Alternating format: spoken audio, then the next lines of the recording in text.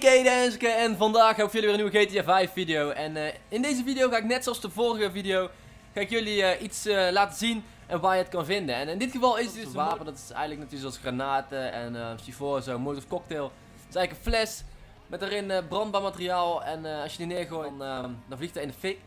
En um, ja, die kun je normaal gezien niet in die gunstore kopen. Dus of als een knuppel en um, een stuk ijzer en zo, uh, weet ik. In ieder geval dat soort dingen kun je allemaal in de game vinden. Ik heb hier in deze video in ieder geval uh, de Molotov Cocktail.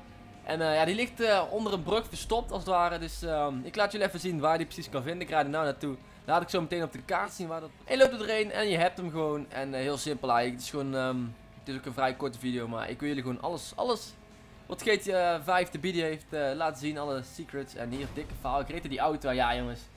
ik zat gewoon helemaal niet op te letten. Ik zat allemaal links te kijken op de kaart. Waar is het nou? Want ik dacht eigenlijk dat het hier was. Maar dat was dus echt precies waar ik uh, op de kaart dus aangaf waar het was. Of ja, niet precies, maar in ieder geval uh, ja, vrij dichtbij. Kijk maar op de kaart. Uh, ik zat er niet ver vanaf. Kijk maar. Ik laat zo meteen nog even het overzicht zien hoe dat, dat precies op de kaart eruit ziet. Zoals je nou kan zien. Dat is dus hier zo. Ik zal even helemaal teruggaan naar het begin van, of ja, in ieder geval waar de stad is. Dan weet je ongeveer hoe je moet rijden.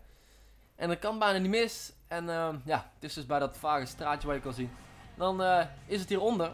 En als je ammo hebben kun je dus ook niet in die gunstore kopen. Dan zul je als het goed is constant weer terug moeten gaan uh, naar deze plaats.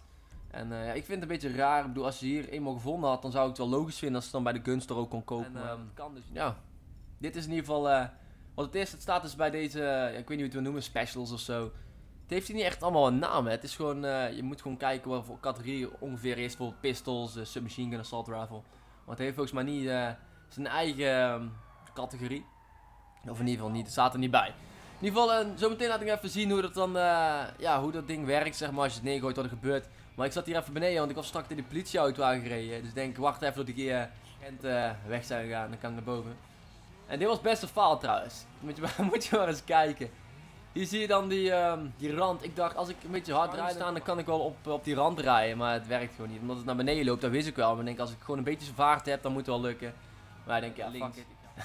dat is net zo makkelijk. Ja, en dan, uh, ik heb niet gekeken hoe het precies had. Stuk of 4 volgens mij. In ieder geval, dit is dus uh, hoe het werkt. Het is natuurlijk wel grappig als je niks te doen hebt, een beetje mensen. Maar uh, ja, dit was de video. Als je het leuk vond, laat een like achter.